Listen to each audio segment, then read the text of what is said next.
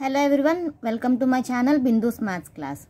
Today's topic is multiplication of any number with number of nines means 99, 999, 9999 like that.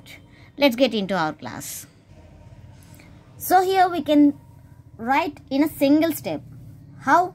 So simple. Just you check whether the given two numbers are equal digits or not. So 99, 38 are the equal number of digits. Means 2 digits and 2 digits. So that you have to write first write the number just before it. So here 38 before number is 37. After that you have to write the number that is added up to 9. So here if we write 6 it will be added to 9.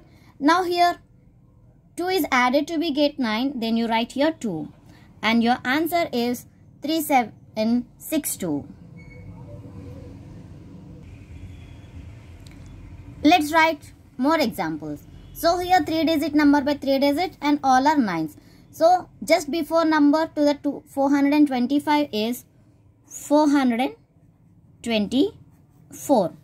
Now all these numbers are added up to 9s. So here 5 because 5 is to be added to 4 it will get 9. Here if we add 7 we will get 9 then write 7.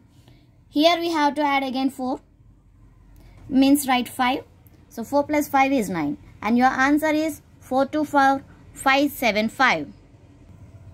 Let's write a big number 9999 is multiplied by 7361 same as just before the number so that 7360 is before number to 7361 now all these digits are added up to 9s here 7 plus 2 is 9 3 plus 6 is 9 6 plus 3 is 9 and 0 plus 9 is 9 and your answer is 73602639.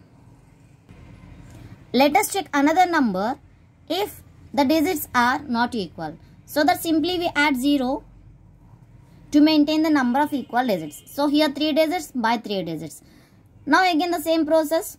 Just before the number so that we can write 83 and now you have to count up to 9 so here nothing we have written. So that it here 0 if we add 9 here that becomes 0 and 8 plus 1 is 9 3 plus 6 is 9 and your answer is 83916 hope this video saves you your time in your competitive exams. If you like my videos don't forget to comment like and subscribe my channel. Thank you very much for choosing my channel. Thank you